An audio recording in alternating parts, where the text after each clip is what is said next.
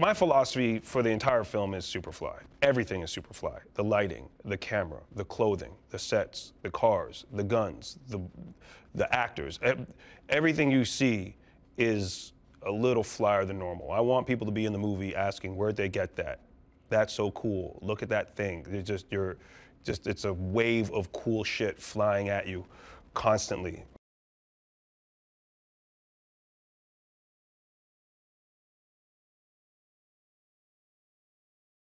Priest is extremely focused. He is a bit restless. He wants new challenges. He wants new things. He's always ready for to go another way. But at the same time, he has a luck about him. Um, professionally, romantically, people like him.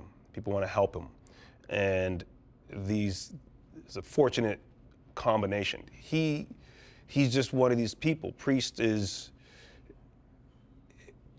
there's people in the world that just shine brighter. There's people in the world that can can who get more, and since they get more, they're required to do more, and that's priest.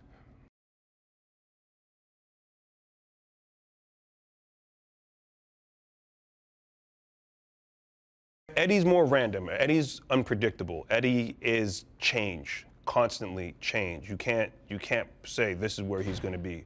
He's where Priest is stable, Eddie's moving, moving. He's another lucky guy. He's another guy that just has that luck on him. That's why they're friends. Um, but, but not quite in the way Priest is, right? Uh, you know, we all see rappers now, and if if you really follow a rapper closely, not only do you know who the rapper is, you know who his right hand man is. A couple of them. You you you see who their friends are around them, and that's Eddie. Eddie's that right hand man, where Priest is the superstar rapper that fills stadiums.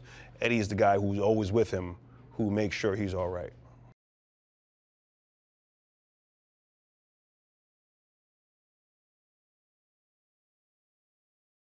In 1971, Harlem was the epicenter of black culture. It was what the whole world heard and thought of. The clubs in Harlem were famous worldwide. The drug dealers in Harlem were famous worldwide.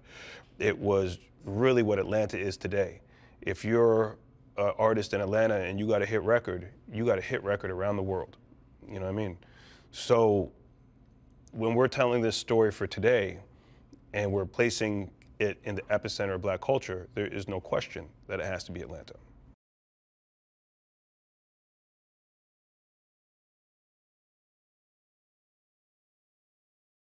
What Alex and I shaped together was an outline that then became the foundation for the script. And like I said, that was us talking about, all right, what is it now? Where in the original, he gets attacked by junkies, and we took that to mean he gets attacked by people in the game. It's not just an attack randomly, it's you know people that are part of the drug world. But the Superfly today isn't running around in places where junkies can attack him. So we said, all right, well, what if they're rival drug dealers? Okay, great. In the original, the police come and, and uh, these dirty cops are also his supplier. Well, it's hard to believe the amount of money we want now to make that this could come just from the cops, which then got us into cartels. Um, but we still, you know, so there's an expansion of the story for our understanding of the drug culture of today. But at the same time, you can see it's rooted in the original film and the original story.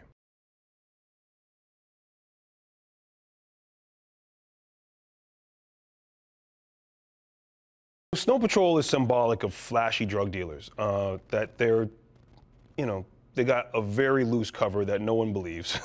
uh, we make music, and you know, something like that. So it's just something really simple. But that's what it symbolizes. The, the guys that will go and buy the flashy car and get on Instagram and be on a yacht or just with no explanation of how they could do this and then ultimately get taken down because of the stupidity.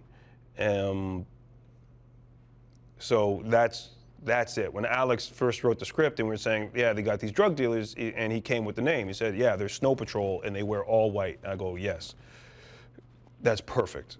And it informed the movie. Once we said the bad guys all wear white, drive white cars, have all white businesses, have white guns, it said the movies were we're not making a grimy, gritty, realistic handheld drug story that you wonder is a documentary. We're making a movie.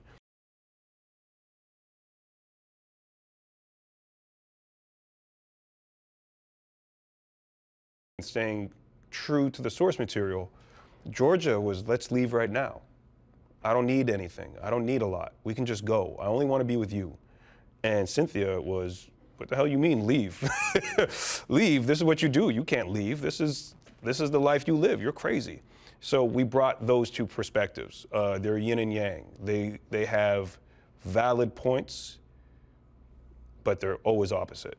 So you get both sides of the argument from these two. And all together, you can see how these two girls and Priest make uh, one unit.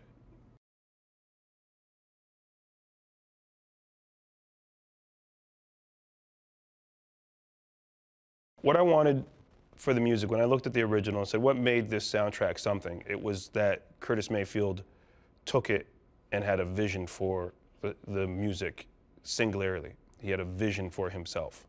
And that's what I wanted. I wanted to hand the music to someone who would have a vision, that would understand the world, could make a commentary on it. And really, there's only one person when you start talking about these requirements and its future It could be no one else.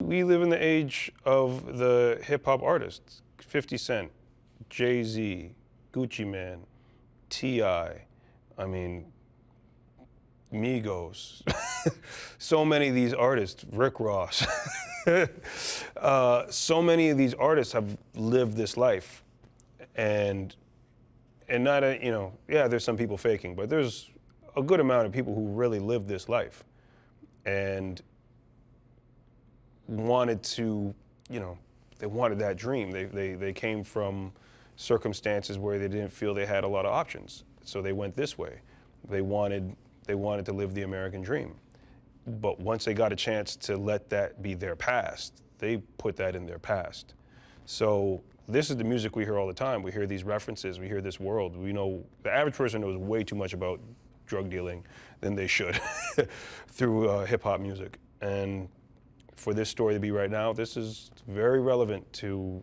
the culture.